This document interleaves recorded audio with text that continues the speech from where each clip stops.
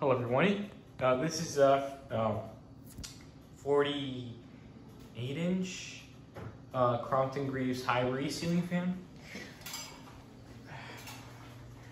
Uh, here's the tag. Shoot. Here's the tag. I kind of cleaned it up a little bit for what it was, what it was before.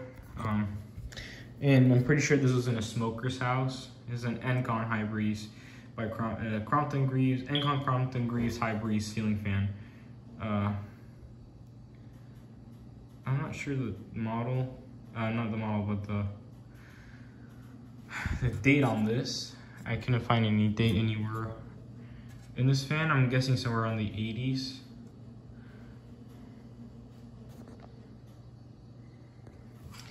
Uh, I don't know how to convert. Uh, I don't have the calculator with me right now, but uh, it's a, 10, 1050 centimeters. centimeters. So maybe 48. I don't know.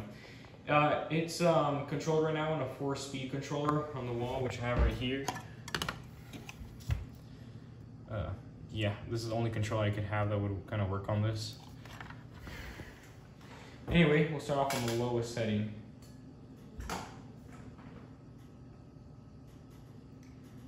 This is the low, low.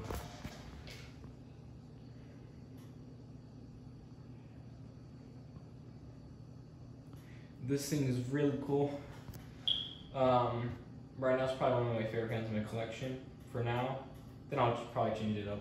There's always gonna be something new popping up that I'll like. But uh, this fan is something I've been looking for for quite a while now.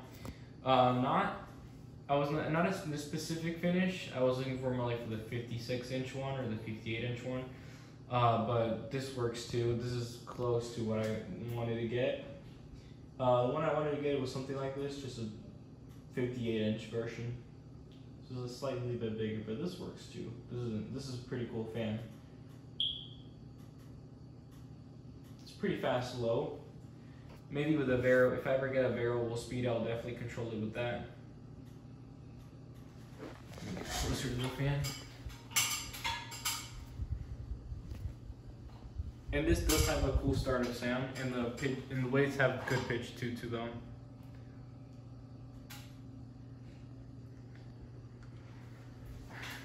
And the reason I put it up here is because I can't mount it on the uh, on the garage door area thing where I usually test my fans because uh, this thing has a lot of torque and the mounting bracket I had for that uh, broke because of all the torque it, this thing has. Anyway, we'll go to speed number two. Let me see here. Now this is where stuff kind of starts getting a little bit more serious. You can kind of, I don't know if you can hear, but the motor's kind of humming right now. It does have a startup sound too, which is really cool.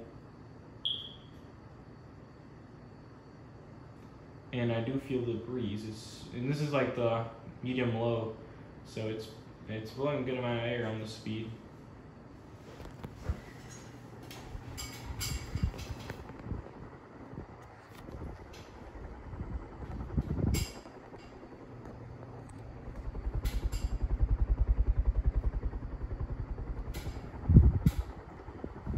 It'll only get more serious from from now on once I turn this thing on medium high, it's, it's when it actually starts getting pretty fast. So we'll go here medium high.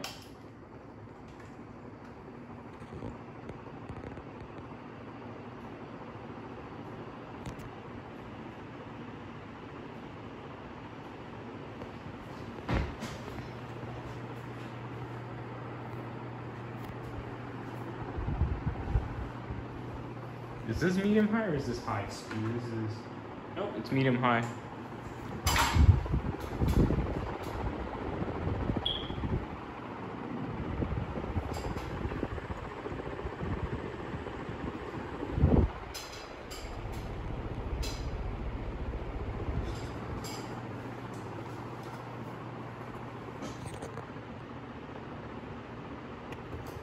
And now we'll go to high speed.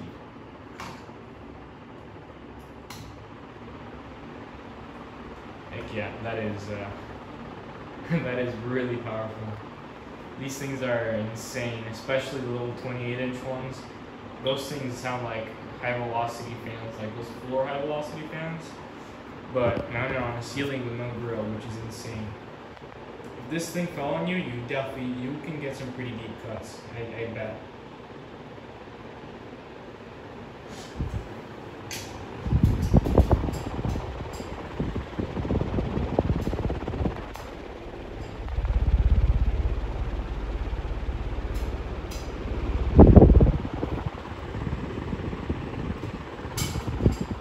Yeah, this thing's insane.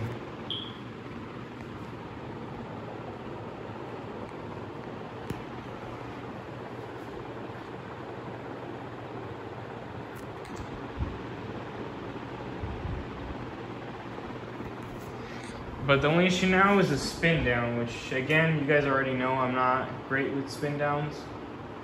But anyways. This is spin down. I'm not really like, uh, what's the word? Patient. But you guys know, uh, you, you probably, I don't know, some, a lot, a lot of you guys like spin downs for some reason, but whatever.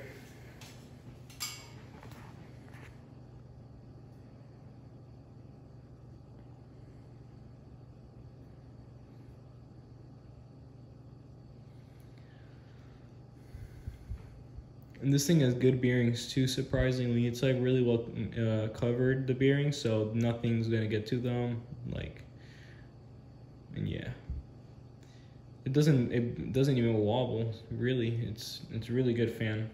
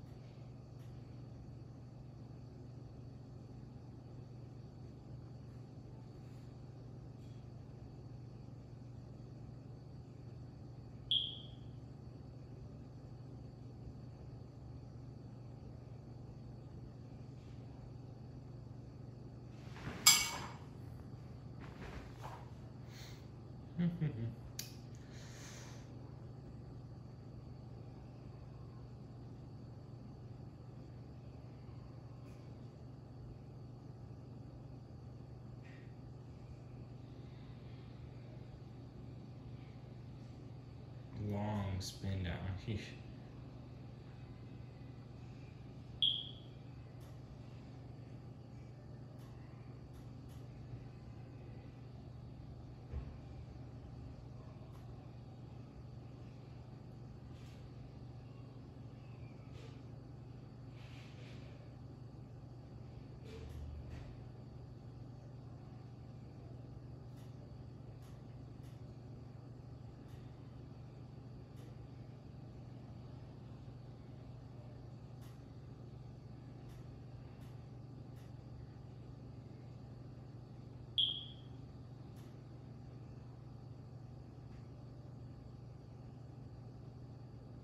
Almost there.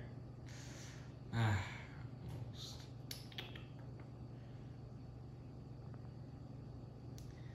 And there you guys have it. Well, I hope you guys enjoyed this video. Please like and subscribe, and we'll see you guys in the next one. Bye-bye.